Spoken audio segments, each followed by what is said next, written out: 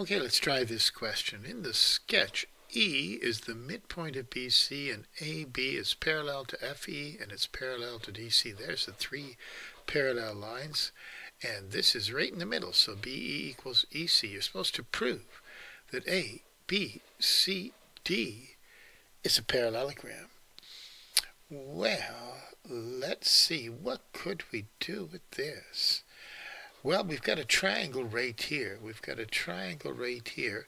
And this E is in the midpoint. And this is a parallel line, a parallel line here.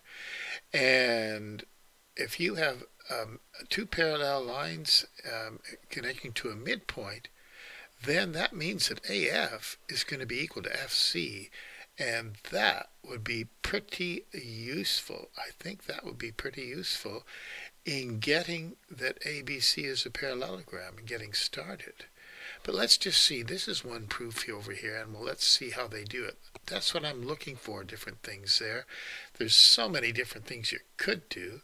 Um, if you're going to prove it's a parallelogram, you can uh, prove that if you can prove that these two sides are equal, or, and these two sides are equal, AD and BC is equal, uh, if you have one side is parallel and equal, there's different ways to prove a parallelogram. Let's see how we did this one.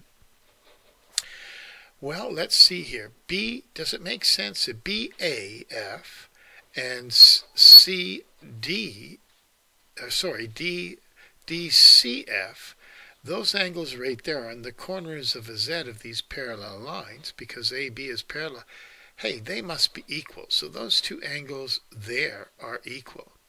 And AF has to equal FC. It's a midpoint theorem. And we know that these two angles here are equal. Oh, so we've got this side's equal to this side. Remember I said the midpoint theorem? We got this angle is equal to this angle. We have vertically opposite angles. AFB and CFD are equal. That's an angle, a side, angle, side, angle, it looks like we've got here. Yes. Angle, side, angle on two triangles. So we can say that the, these two triangles here are congruent because of angle, side, angle. Well, if they're congruent triangles, then AB must be equal to CD. And I think that's what we need to prove. We've given that they're parallel, we know that the two sides are equal.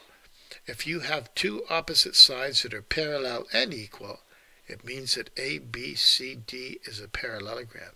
There would be other ways to do it, but that's one of the uh, fastest ways, I think, to do it. So those are pretty challenging, but that's how you'd prove that ABCD is a parallelogram.